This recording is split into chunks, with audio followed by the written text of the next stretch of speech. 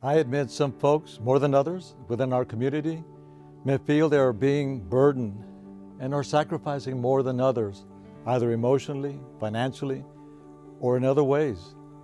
I sincerely sympathize and ask that you please call our hotline 956 795 4954 for direction and assistance. Yes, these are truly trying times, and we are dealing with a silent killer that has yet to reveal his full potential here. I plead and pray that this pandemic may spare us its full fury. I also plead and pray for your patience and full cooperation in following the preventive established guidelines now in place.